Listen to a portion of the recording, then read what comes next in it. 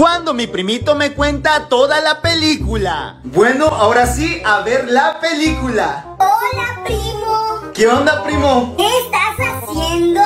Pues no mucho, empecé a ver una película. Ah, qué bien. Yo ya vi también esa película.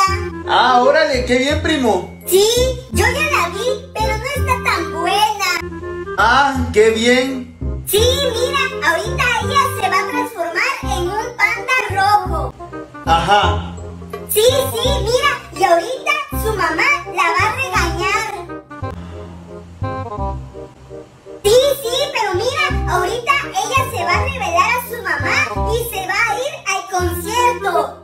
Ya, no me lo cuentes, primo. Ah, y eso no es todo, pero ahorita ella... Ya, cállate, niño lerdo. Conste que te lo advertí. Déjame disfrutar la película en paz.